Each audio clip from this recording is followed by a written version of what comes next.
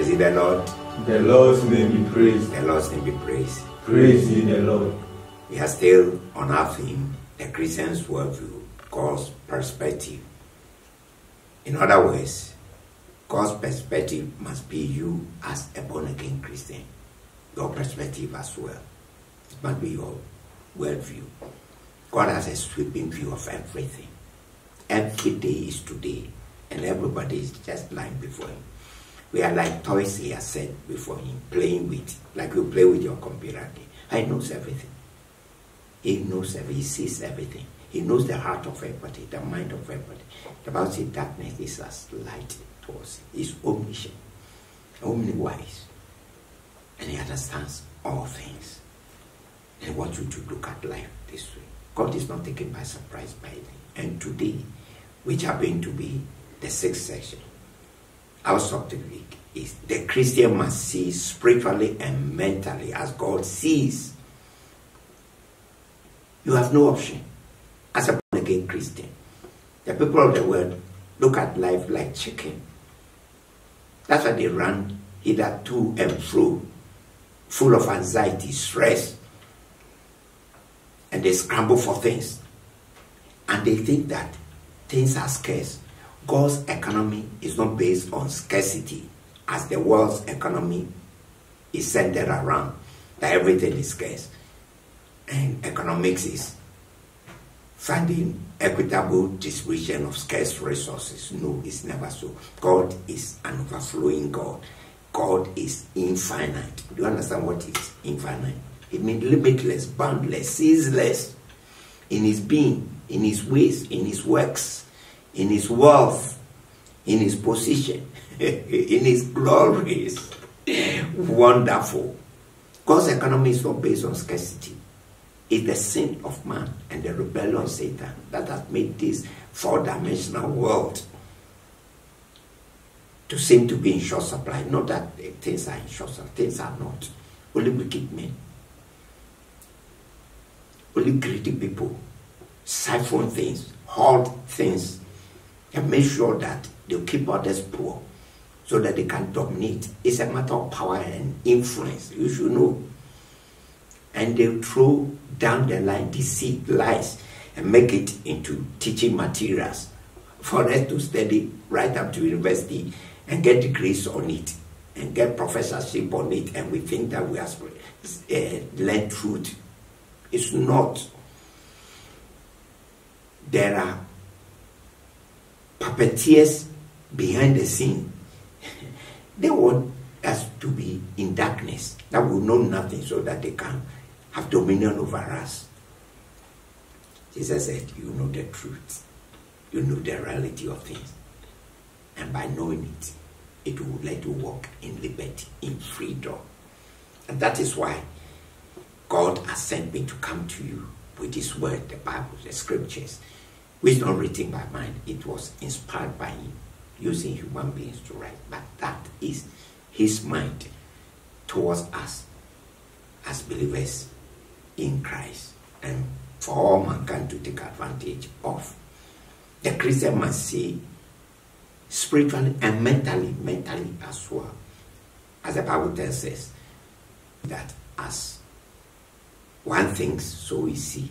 But we learned the other time that God doesn't think in words, God thinks in pictures, motion, pictures, pictures in action, as well as life, life things which are not film things as they are, even in the invisible world, in the spiritual world, the angels, the high powered angels in the third heaven, as well as in the sixth to the the seventh to the tenth dimension of the holy angel, as well as the satanic realm of the fifth and sixth dimension. Everybody's heart is, is, bare before God, their mind, the action, before you took action or even you thought about it, he knew of it and he has countermeasured if what you are thinking and planning and doing happen to be evil. He has already remedial measure to counteract it. God is a God of righteousness, of holiness, and justice. The Christian must see. And we look at Isaiah 46 10. We have some of the scripture will keep coming. God knows the end from the beginning. In preachers and colors, Isaiah 46, verse 10 say, and make known the end from the beginning, from ancient time, what is still to come. I say, my purpose will stand, and I'll do all that I what I plan is what I bring to pass. And there, even in the context, he said he was bringing an evil man from the east, far east, that was King Nebuchadnezzar, to come and achieve his God's purpose to discipline God's own people, the people of Israel. God controls Satan. He doesn't make Satan choose what he will do, but he controls him. He limits him. Whatever Satan wants to do, God gives him a borderline. But and the same with all angels as well as human beings. But for every action or inaction that you take, you'll be accountable for it. You'll be judged for it, whether for good or for evil. He knows the end from the beginning in pictures and life and current. Now we look at First Corinthians chapter 1 verse 30. It tells us that it is because of him that you are in Christ Jesus, who has become for us wisdom from God, that is our righteousness, holiness, and redemption. I'll leave the righteousness holiness and redemption and focus on for the purpose of our studies. He is the wisdom of God, Jesus. Not that Jesus will give us wisdom. Jesus is the embodiment of the wisdom of God. And he has been made our wisdom, having accepted him as Lord and Savior. Jesus has become you as you are listening. He's, he's the wisdom of God. And God's wisdom has no beginning, has no end. God's wisdom is also infinite, limitless. God's wisdom is unchangeable, doesn't rise or fall. So Christ is the wisdom of God. The first Corinthians 2 say, born again Christians already have the mind of Christ. We have met this verse before. Who has known the mind of the Lord so as to instruct him? But we have the mind of Christ. Dare to believe as God has spoken to you. Dare to receive and dare to put to use what God has said. We live by faith, not by sight. Living by faith is just believing and accepting God as a because you believe the person who spoke that God. The Bible says there are two things that are impossible for him to do. That is to lie. God can do everything, but he doesn't participate in evil. He can't lie nor break his oath. And he has said, We have the mind of Christ because of the redemptive work of Jesus on the cross for us. It made it available to you. So we see three points for us to understand well how we are to appropriate, put into practice this mind of God which He has given to us in Christ. One, each must accept the truth that he or she has the mind of Christ. You must. I can be talking and shouting for a whole day. If you don't agree, or if you think it's too much, of course it's too much. That is what good news is about the gospel. It's too good to be true because we were rebels. we joined Satan to rebel. We human beings, including you and I, and we are weak. So when God does this thing, it it it it is is part is is is the manifestation of the agape love of God towards us human beings. You you find it, you look at your experience in life, so you said no. Even now that you are born again, you said no, it can't be. God doesn't know my past. How can I? Even in the natural sense, I don't have high IQ. We are not talking about human IQ.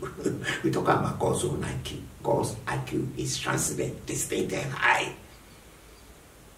It's not subject to error. There's no plus and minus to it. There's no probability. It is perfect. It's unique. Each must accept the truth. You must accept this truth. That God's word. The Bible is not my words, it's not the words of my soul, words of God. Either God is lying or you are lying. Now who is lying? God says we have the mind of Christ. You, a born again Christian, according to 1 Corinthians 2.16. Number two, you must fix your thoughts on the word of God. That is the Bible. To see the defeat of evildoers in this four dimensional world.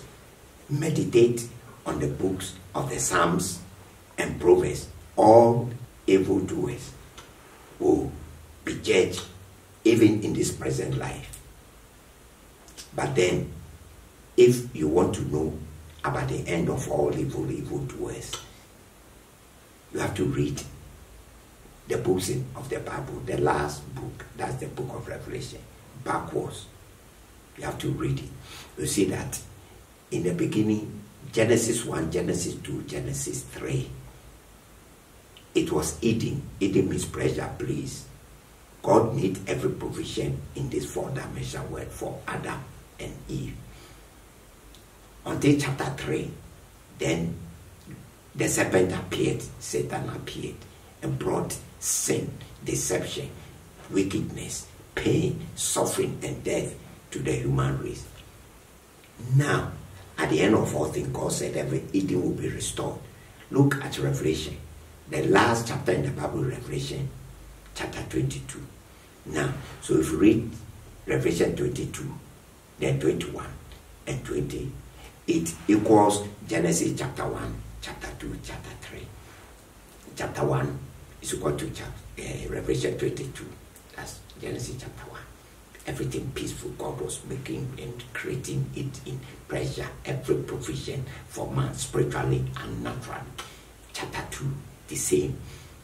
Man was given the garden to keep and manage, and there was no problem. Three, Satan appeared. Revelation chapter 20. Satan will be destroyed forever and ever. Satan will be destroyed forever. You see, that will be the end of Satan. So 20, Revelation 21, 22, Eden is restored. All the things, including more than what if God gave Adam and Eve in the garden. Now, mostly eternal things in addition. The new heaven and the new earth. So that is what you matter. So when you read the book of Proverbs and you read Psalms, it will tell you the wicked man, the ungodly man, his descendant even will suffer here on earth. But perchance, he may live through life. As the Bible says, you see him growing like a green bay tree, and he seems to have no problem, no. He's, he's destroying everybody and getting richer and richer. But the Bible says that the wicked shall not inherit this earth, they'll be cut off. If you look at Psalm 73, you turn Psalm 37, you see that it's no good. And it doesn't pay to be evil and to reject Yahweh and to reject the Lord Jesus. Number three, you must earnestly pray for the Holy Spirit help to see the way God sees things as He declares in the scripture. So, this is how you are to pray. Be, let me know the end of all things right from beginning. That should be your prayer. You say, Dear Lord, say, Dear Lord, Dear Lord, help me help me to know to know the end of all things the end of all things from beginning from beginning and every situation and every situation in which I am in which I am and every activity and every activity I am involved in. I am involved in. Let me know Let me know the end of it the end of it right from beginning. right from beginning. Let me have Let me have pictures pictures of the end of it, of the end of it, motion pictures motion pictures of the end of it. of the end of it. Let me see it live and colored let me see it live and colored On the end of it. on the end of it. Then see, hold fast to it in spite of intervening changes in circumstance. Hold fast to it. You have to faith, hold fast confession of faith without wavering. Because you see, you see like God. God sees everything. All the things that in, in your country, geopolitical, the world, all those people who have taken control, the health sector, uh, economic sector, they've, they've taken control of politics and government and spiritually. If they had to say they are in, that's what the Bible said that. Their master Satan, if he had known, he would have killed the Lord of glory. That's what the Bible says. in First Corinthians 2. If he had known that crucifying Jesus on the cross would, would lead to his defeat forever and his hand and control over humankind broken, he would have done it. He's blind, that's why they call him Prince of Darkness. God knows. So the problem you are passing through, the Bible says all things work together for the good of those who love God, they who are called according to his purpose. That's Romans 8 28. Joseph knew. He told his brother who sold him into slavery that "Hey, you people meant it for evil. Evil men do evil things. Satan is also always behind the devils. But he said, God sent me ahead of you to preserve life. You meant it for evil, but God meant it for good. You can never be defeated. You, the Christian, you must look at life from God's perspective. It's impossible for you to be defeated. In your primary life, it is impossible. In your corporate life, it is impossible. If you dare to believe and dare to accept the viewpoint of God the way He sees life, it's impossible. You said other institution, you say rich people behind the scene are controlled. No, no, no, no, no, no. They are to be pitied. The church cannot be destroyed, you yourself cannot be destroyed. You hold fast to it. In Jesus' name we call it and say Amen. Amen. Now say, Dear God, Dear God, I've started I have started and I've resolved and I have resolved to mentally to mentally and spiritually and spiritually. to see life to see life from your viewpoint from your viewpoint and not to be afraid, and not to be afraid, for there's no power for there is no power visible visible nor invisible No invisible that can that can destroy me destroy me and stop and stop your plans your plans and purposes. and purposes. And that of mine. And that of mine. Which you have given to me. which you have given to me. I thank you. I thank you. That I'm a victor. That I am a victor. all the way. All the way. And I belong and I belong to a team. to a team. That's always winning. That's always winning. And a kingdom. And a kingdom. That shall never that shall never be given to any other. Be given to any I thank you. I thank you. I see life. I see life. From henceforth. From henceforth. The way you see it. the way you see it. We are. We are victors. Victors. And not victims. And not victims, and will rule. And will rule. And reign. And reign. Over Satan, over Satan, Luciferians, Luciferians, evil men, evil men, evil women. evil women. Not only that, Not only that, we take hold. We take hold. of the spiritual resources. Of the spiritual resources. and resources natural resources. And natural of this world. Of this world. To invent things, to invent things, to manage them, to manage them. to bring glory. To bring glory. And honor. And honor. To your name. To your name. Jesus' name, In Jesus' name. I call it down. I call it down. Amen. Amen. Now you want to give your life to Jesus. Say, Dear Lord Jesus, Dear Lord Jesus, I also I also desire desire to be part to be part of your winning team. of your winning team. Forgive me Forgive me my sins my sins and wash me and wash me with your blood. with your blood. I open my heart I open my heart and my life and my life to you. To you. I surrender I surrender to your Lordship. to your Lordship. Come into my heart Come into my heart and be my Lord, and be my Lord personal Savior. and personal Savior. In your name I In pray. your name I pray With thanksgiving. with thanksgiving. Amen. Amen. I pray for you. You are delivered from the power of darkness and translated to the kingdom of God, dear Son. Kingdom of love. From henceforth, I pray and break the hold of the enemy over your life, anxieties and depression. If you have neural problem, I rebuke it in Jesus' name. Drug addiction, I rebuke it in Jesus' name. I said to loose and free. Now rise up and walk in life with confidence. In Jesus' name, I call it down. I command the angels of God to minister to you, to bear you in their arms, lest you dash your feet against the. And I command that the angels of God will bring human helpers into your life. In the name of Jesus Christ. Now, four spiritual things that you have to do. I introduce you to that Christian living for growth. The first one is the Bible. And feed on it every day. Let it be the first thing you attend to in the morning. And also make it your final authority in every matter of life. Number two, you pray to God in the matchless of Jesus. He will hear you. Don't go in your own name. Don't be afraid. It doesn't matter how much sin you have committed, they are washed away. You are now a brand new person.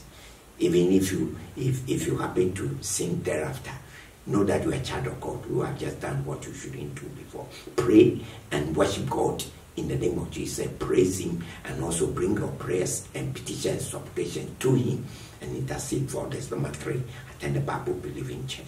And the number four, tell others about the saving power of the Lord Jesus Christ. We are making way.